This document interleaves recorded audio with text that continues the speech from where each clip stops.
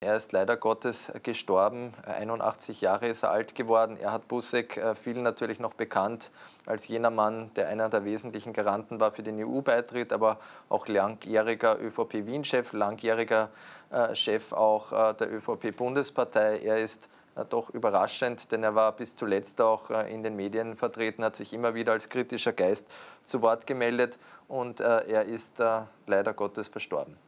Diese Meldung kam für viele überraschend, aber er hinterlässt sehr, sehr viel auch. Ähm, wo genau war denn er tätig? Ich habe ja gehört, es hat schon sehr, sehr früh bei ihm auch begonnen. Es hat sehr früh begonnen. Wir haben auch einige Bilder vorbereitet, äh, als Erhard Busseck noch ein wirklich junger Mann war. 1975 hat seine Karriere begonnen. Da sehen wir schon gemeinsam mit äh, Josef Taus, der war der damalige ÖVP-Chef. Das hat sich so zugetragen, dass äh, der damalige ÖVP-Chef Schleinzer bei einem Autounfall verstorben ist. Die ÖVP war führungslos und hat sich dann äh, für Erhard Busseck als Generalsekretär entschieden.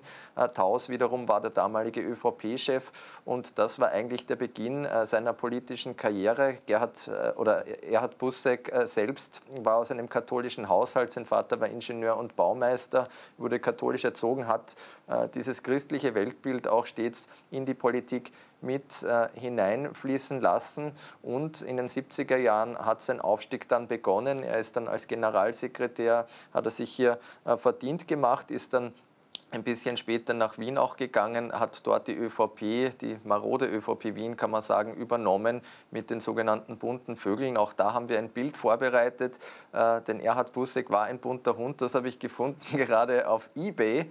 Äh, das dürfte eine Schallplatte gewesen sein, ich glaube gegen Atom. Kraft, weil Erhard Busseck galt immer so als ein bisschen der liberale Kopf und ja, ein, ein bunter Vogel. Ich glaube, das war sogar eine Eigenzuschreibung. Man wollte damals in die doch verkrusteten Strukturen äh,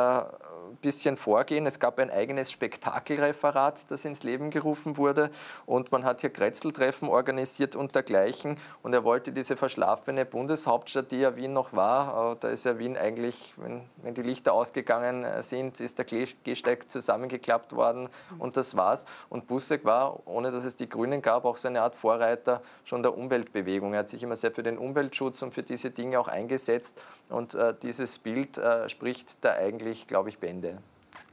Wir sehen hier, wie gesagt, äh, das hast du jetzt noch, du warst ja auch heute schon den ganzen Tag im Einsatz. Dich hatte diese, ähm, auch diese Nachricht selbst äh, groß überrascht. Hier haben wir auch weitere Bilder, beziehungsweise hier auch ein Video noch von ja, ihm.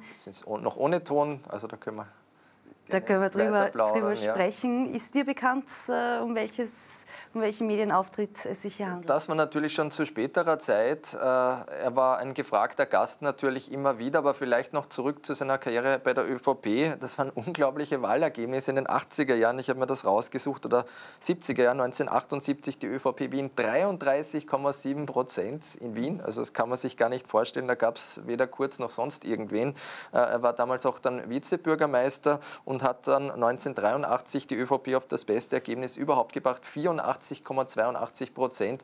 Also das war ein richtiges Match äh, zur Zeit von Graz und später auch mit äh, dem Bundes, äh, nicht Bundeskanzler, sondern mit dem Bürgermeister Zilk. Da hat man sich sehr gut verstanden. Er musste dann aber gehen, äh, ist dann ein bisschen später Minister geworden, ab 1989 Wissenschaftsminister in der Koalition mit Franz Franitzky. Den habe ich auch vor ein paar Tagen für ein anderes Projekt getroffen, auch äh, ganz beeindruckend mit ihm zu plaudern. Und wenig später war dann Busseck auch als Unterrichtsminister tätig hat sich dann aber in seiner Zeit auch immer wieder sehr um die Außenpolitik äh, bemüht. Vor allem als der eiserne Vorhang gefallen ist, hat er sich sehr hier auch mit den tschechischen oder tschechoslowakischen Dissidenten hier in Verbindung gesetzt äh, und war immer so eine Art Brückenbauer. Das hat ihn, glaube ich, immer ausgezeichnet. Dennoch, äh, noch sehr früh hat es bei ihm auch alles angefangen. Ich habe mir auch dieses Wahlergebnis, das du gerade angesprochen hast, da reden wir von den 80er Jahren, stimmt das? 80er Jahren, das war was ganz äh, ja, für die ÖVP einmaliges damals und das übrigens auch ein Bild, das ist schon ein bisschen später. Wir sind jetzt im Sommer 1994. Erhard Busseck wird auf den Schultern äh, vor der Lichtenfelsgasse, wo heute leider eine schwarze Fahne auch hängt, äh, getragen. Damals der EU-Beitritt äh, und aus ÖVP-Sicht war er neben Alois Mock derjenige, der das hier sozusagen auch geschafft hat. Da sehen wir es 65 Prozent Ja. Da wird das Ergebnis eingefangen. Der Jubel war riesengroß Und äh, Busseck selbst hat damals sogar die Internationale gesungen, äh, haben, hat damals nicht allen gefallen, äh, dass das gemacht wurde, weil das ja doch eher äh, von der linken Seite ist. Und da sehen wir Alois Smog, der damals leider auch schon äh, schwer krank auch war. Und äh, gerade, das ist ja 94, war etwas ganz Besonderes. Und Uschi, ich würde sagen, schauen wir uns ein Video an. Wir haben da auch ein Statement von Erhard, Erhard Busseck zu, diesem, zu dem EU-Beitritt vorbereitet. Schauen wir da mal rein. Du hast eh schon gehört, sieht ausgezeichnet aus. Die offene Frage ist nur, ob er Fünfer oder Sechser vorn steht. Am Ende des Tages werden es mehr als 66 Prozent, die für den Beitritt stimmen. Mit wem er damals äh, telefoniert hat, Bitte. nicht, mit Alois Mock. Mhm. Da ging es darum, äh, am Tag äh, der Volksbefragung in Österreich oder der Volksabstimmung, wie viel wird es werden? Und er hat sich schon optimistisch gezeigt. Ja, sehr, sehr spannend. Äh, du hast noch ein Video mitgebracht. Wir haben noch ein Video. Erhard Busseck war gerade in den letzten Jahren äh, sehr oft auch bei uns, auch telefonisch war uns oft zugeschaltet, war natürlich auch ein glühender Europäer. Er hat auch ein Statement abgegeben im Jahr 2010 im österreichischen Parlament und ich würde sagen, Uschi, auch da hören wir mal rein.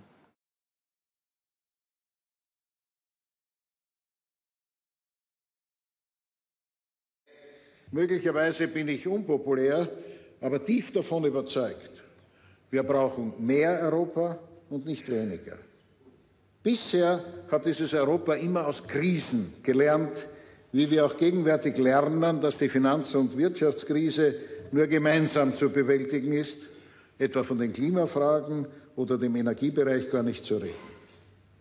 Daraus müssen aber die Konsequenzen gezogen werden und die EU muss entscheidungsfähig. Ja, beeindruckende Bilder und soweit ich weiß, hat sich, haben ja viele auch bis jetzt äh, schon zu Wort gemeldet, äh, auch zum Ableben von ähm, Erhard Busseck, unter anderem auch Karl Nehammer schon. Ja, natürlich. Äh, er ist der nach, nach, nach, nach Nachfolger äh, von Erhard Busseck gewesen. Nehammer selbst war heute in Niederösterreich unterwegs, gemeinsam auch mit Johanna Mikl-Leitner. Da ging es um Hilfspakete für die Ukraine, äh, natürlich auch für nicht nur für äh, den Bundeskanzler, ich glaube für jeden, äh, der ihn gekannt hat, ist das ein wirklich großer Verlust. Er war jemand, der bis zum Schluss eigentlich ein kritischer Geist war, einer, der sich immer wieder auch geäußert hat, der auch mit der eigenen Partei hier immer wieder hart ins Gericht gegangen ist. Ich erinnere an die Chats von Thomas Schmidt, da hat er wörtlich äh, gesprochen, die Verfasser waren Trotteln, mhm. hat er gesagt. Also er war jemand, der natürlich das politische Geschehen ganz genau verfolgt hat. Hat sich auch kein Blatt vor den Mund genommen. Kein hat. Blatt vor den Mund genommen. Ich glaube, du wirst auch das ein oder andere Interview mit ihm geführt haben. Äh, ich habe das auch zwei, dreimal gemacht und das waren immer sehr interessante Gespräche, die man mit ihm führen konnte, weil er jemand war, der über den Schnitzelrandteller in Österreich auch hinausgeblickt hat äh, und der das europäische Ganze sozusagen im Fokus hatte. Ja, viel, was er auch äh, uns hinterlassen hat. Also auch als Bildungsminister war er ja tätig. Eine Zeit lang, also Wissenschaft und Forschung war einfach seins. Auch die Fachhochschulen, die auch uns geblieben sind. Also sehr, sehr viel, was wir durch ihn auch weiterhin haben werden. Das Forum Alpbach natürlich, äh, wo er auch, äh, ich glaube, Ehrenvorsitzender war.